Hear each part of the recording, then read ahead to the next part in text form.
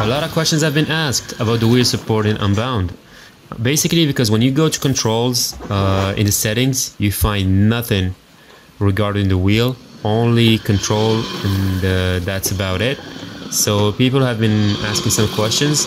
Well, let me just tell you that it works. You only have to plug in your wheel and you can basically start using it like I'm doing right now. The problem is you have no way to change any settings of your of your wheel in game. You'll only have to resort to your wheel's software, in my case G-Hub, to basically play with the settings. Uh, my problem is when I've tried it, it feels exactly like Heat.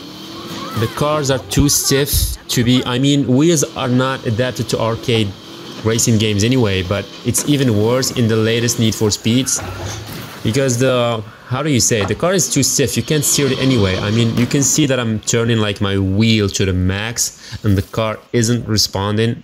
And uh, also I have my rotation degree to 180 which is the minimum which is a, which is what I set up for arcade racing games and still no response.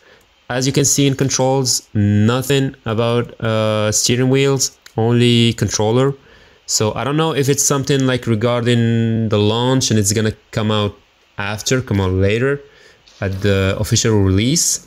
But uh, yeah, that's basically it.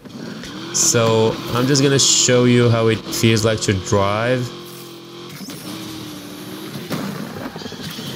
I'm gonna crash on purpose just to show you that the vibration work. As you can clearly see. So yeah, that was it about the steering wheel in this game. So anyway, like, comment, subscribe, tell me what you think, tell me if you found other better settings for the wheel, and see you guys on the next video. Peace.